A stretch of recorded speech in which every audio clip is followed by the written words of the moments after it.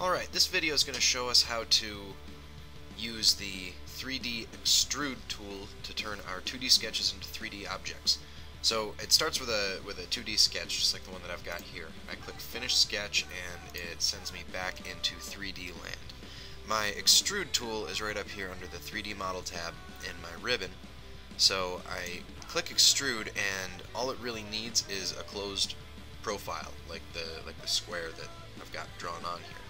Since that square is the only closed profile in the in the image, it selected my uh, it selected that for me automatically as my profile.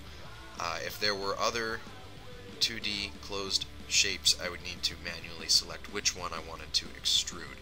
Um, I have a 2x2 square, so I'm going to extrude it 2 inches to make a 2x2x2 cube. So that was pretty much the most basic extrusion that I could make.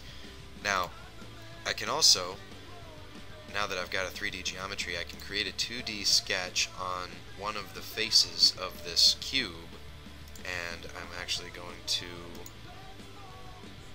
make a line extending out to the circle so that I can, uh, sorry, extending out to the center so that I can have a center point for a circle.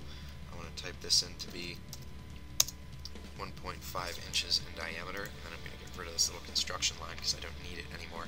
So I'm going to extrude this circle, but remember I've got to hit Finish Sketch first. It sends me back to my 3D Model tab, and now I can extrude the circle.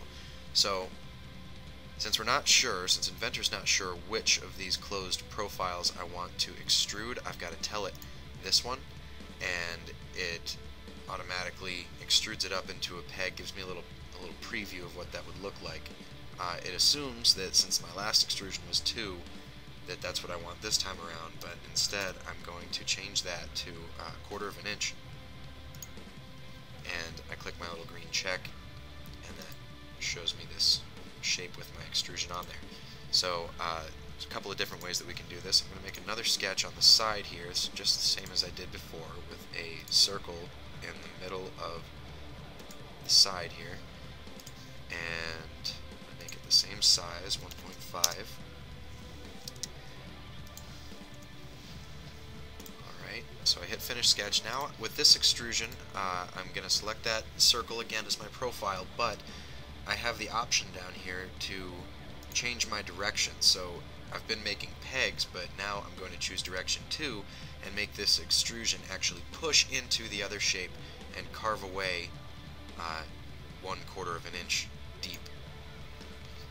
So we can pull our profiles outward and, uh, and make new solid shapes using this extrude tool, or we can use it to push into existing solids and carve away at them.